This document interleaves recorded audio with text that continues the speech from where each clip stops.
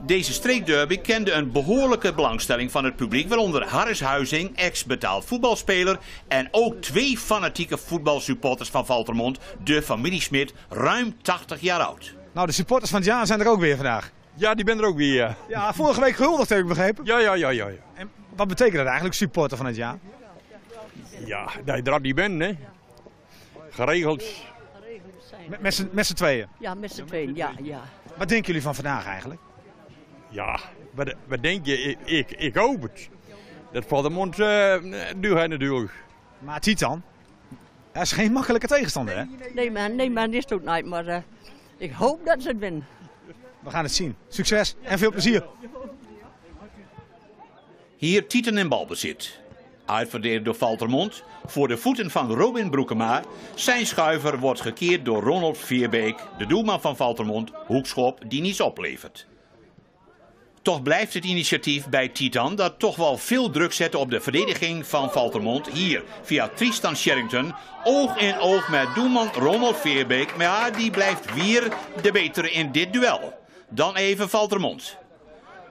Counter van eh, Titan. Martin Idema.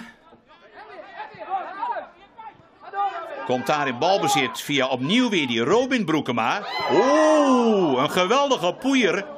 En daar komt Valtemont toch weer goed weg. Zorgen natuurlijk voor Rick Sloor, de trainer-coach van Valtemont. Nummer 18 was het, hè? Ja, deze Broekema had er toch al een eh, tweetal eh kooltjes kunnen maken. Hier weer dezelfde Robin Broekema. Maar nou op het dak van het doel van Valtemont.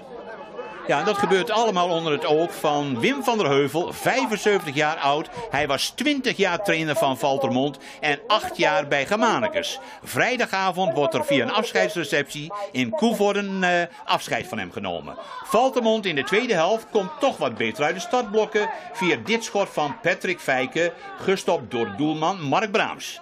Dan weer Titan. Spits Harmjan Moesker wordt aangespeeld. Draai en een geweldige reflex van doelman Ronald Veerbeek. Hij speelde een voortreffelijke wedstrijd, deze doelman van Valtemont. Toch nu wat meer druk van de Mondkes. Hier een inzet, hoog, met Arno Drenthe. In duel met Mark Braams. Maar ja, dat gebeurt in de 5 meter. En dan heb je toch nog wel dat scheidsrechter Boerma in dit geval dat affluit vanwege een overtreding. Dan weer Valtemont. Daniel Tolen. Ja, keurig eh, geplaatst afstandsschot. Gaat naast de goal van Titan. Dan gaan we al richting de slotfase van de wedstrijd. Weer Valtemont, Erik Jan Veerbeek, de aanvoerder. Hele mooie actie. Moet nu toch wel even wachten op wat mensen die meekomen. Arno Drenthe zit daarbij. Ja, dat gaat dan weer net eventjes naast. Werd dat trouwens ook gehinderd door Jordi Springer. Dan weer Valtermond. Patrick Fijken. Voorzet op Arno Drenthe.